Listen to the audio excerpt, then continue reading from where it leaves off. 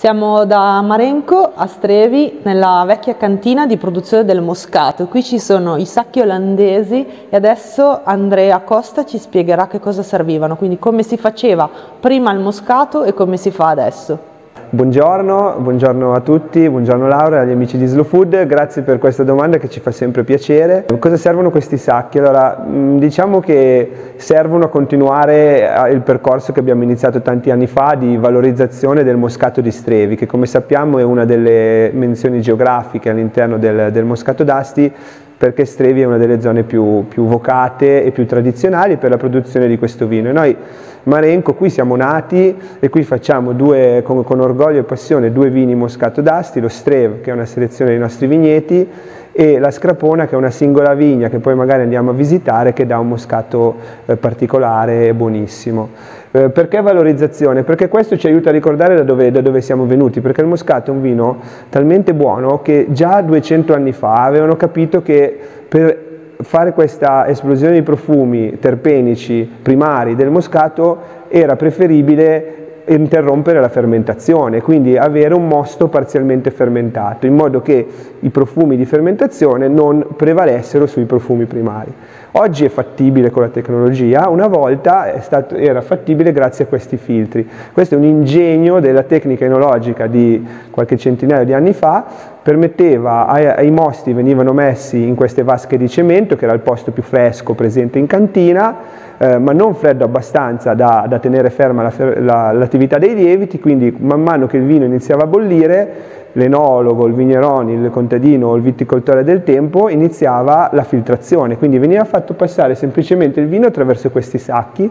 che hanno un tessuto speciale in grado di mh, mm, trattenere parzialmente le sostanze azotate che sono necessarie ai lieviti per fermentare, quindi il vino si calmava e, e veniva messo in vasca. Questa operazione veniva ripetuta ogni settimana per 8-10 settimane, un po' prima di Natale il moscato veniva messo in bottiglia e spedito ai clienti. Era un vino favoloso, ovviamente non aveva la stabilità del moscato di oggi. La tecnologia ci aiuta semplicemente, oggi facciamo il moscato allo stesso modo, semplicemente con filtrazioni migliori di queste riusciamo a avere la garanzia di eliminare completamente i lieviti dal, dal nostro vino e quindi poter, poterlo spedire e avere il vino a una durata, una durata eh, superiore. Però ecco, questo ci teniamo, è un vino di tradizione, il Moscato d'Asti di Strevi, che merita tantissimo, ha molto più potenziale di quello che ogni tanto ci si aspetti perché è così buono con il panettone che si tende a volte a, a, a mangiarlo solo, a berlo solo con il panettone, cosa verissima, è un vino fantastico con tutta la pasticceria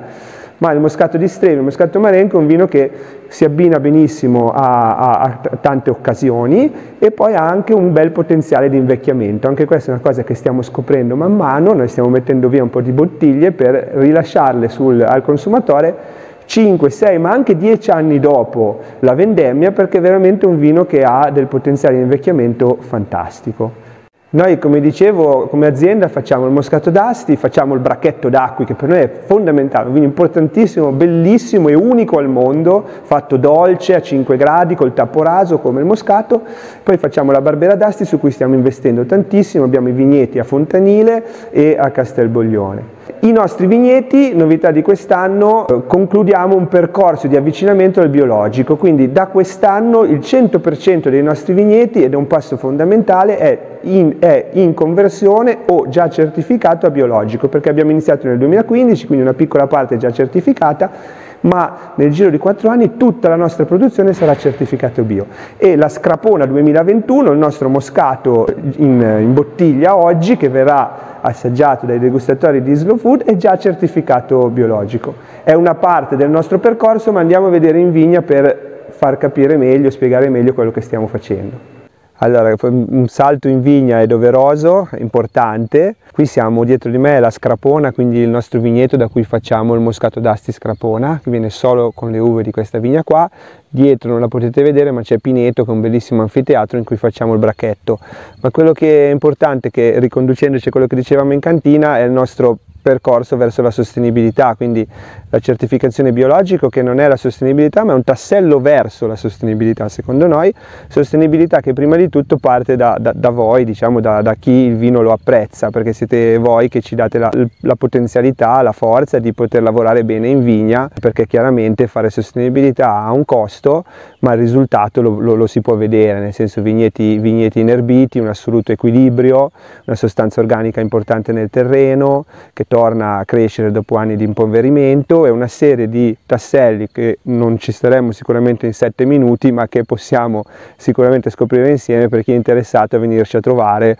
o a contattarci. Per noi è, è fondamentale questo passaggio. Giunti alla degustazione, come dicevamo noi abbiamo un'anima aromatica con il moscato, la scrapona, la scrapona collezione, il bracchetto, il pinetto che per noi è fondamentale, quello che ci tenevo a dire per raccontare Marenco è che abbiamo anche nel nostro sangue scorre la barbera, già negli anni 70 mio nonno ha comperato a Fontanile per fare barbera d'asti, quindi abbiamo una barbera classica, una barbera superiore, abbiamo due vitigni autoctoni con DNA barbera che sono il Caricalasio e l'Alba Rossa. E novità con cui usciremo presto, usciremo con un Nizza, Nizza importante che produciamo in un cru a Castelboglione. E quindi vi aspettiamo per assaggiarli.